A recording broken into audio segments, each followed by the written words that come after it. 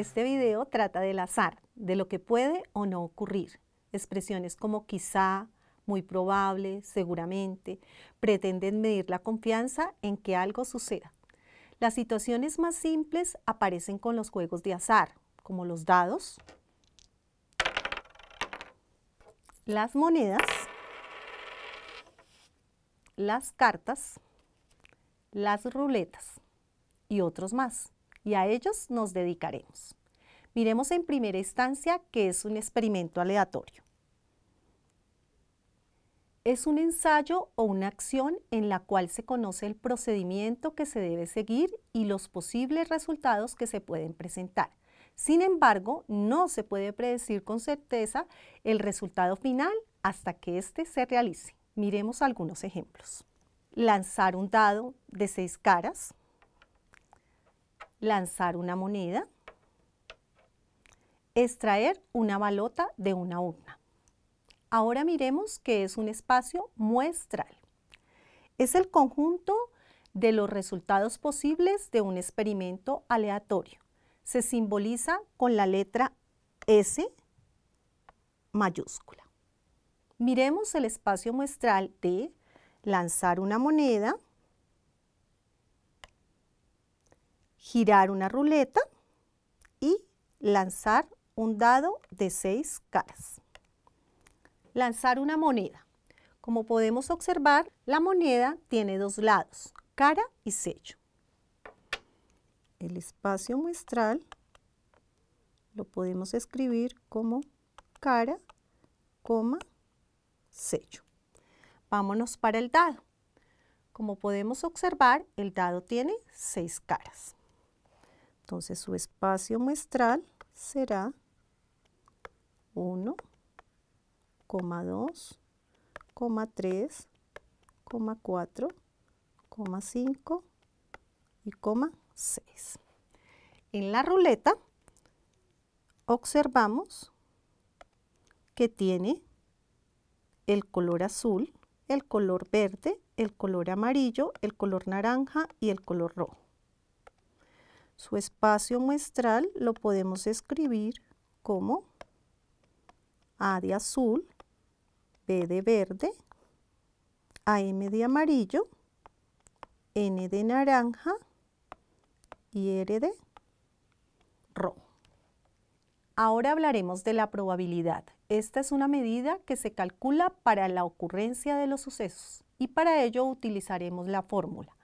Probabilidad de un suceso es igual al número de casos favorables sobre el número de casos posibles.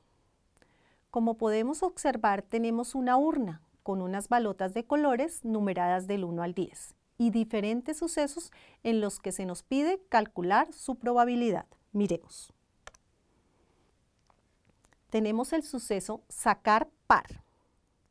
Como podemos ver en nuestra urna, par lo tiene la balota azul, la balota amarilla, esta otra balota amarilla, la balota verde y esta otra balota verde. Entonces sacar par será 2, 4, 6, 8, 10. Como la probabilidad es el número de casos favorables, vemos que tenemos 1, 2, 3, 4, 5 casos. Entonces será 5 sobre el número de casos posibles, como tenemos 10 balotas en total, será 10. Recordemos que el número de casos posibles es el mismo espacio muestral. Entonces, si simplificamos esto, nos daría un medio. El siguiente suceso nos dice obtener azul. Vemos que la única balota que tiene azul es la balota 2. Entonces, acá nos dará 2. Y la probabilidad será igual a 1 sobre 10. Sacar impar y amarilla. Este I es muy importante. En este caso debe cumplir las dos condiciones, impar y amarilla. Vemos que solamente hay dos balotas amarillas y que tienen números pares. Luego este suceso es vacío y su probabilidad es igual a 0 sobre 10, que sería igual a 0. Sacar menor o igual que 10. Menor o igual que 10 quiere decir que incluye el 10. Entonces, acá estarán los números, las bolotas numeradas con el 1, con el 2, con el 3, con el 4, con el 5, con el 6, con el 7, con el 8, con el 9 y con el 10. Quiere decir que el número de casos favorables es 10 y el número de casos posibles también es 10. Quiere decir que esta probabilidad es igual a 1. Estas probabilidades las podemos expresar en forma decimal y en porcentaje. Espero que lo recuerden, se los expliqué en el grado séptimo. Esto lo haremos para mirar la escala de probabilidad que cada uno tiene. Recordemos que la probabilidad de sacar par nos dio simplificado un medio, que esto equivale en forma decimal a 0,5 y que esto me representa el 50% en porcentaje.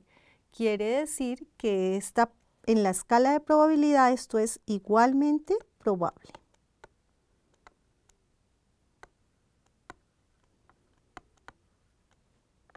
obtener azul.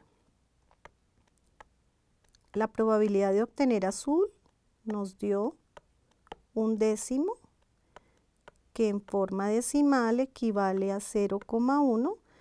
Esto me representa en porcentaje el 10%. Quiere decir que en la escala de probabilidad esto es poco probable sacar impar y amarilla.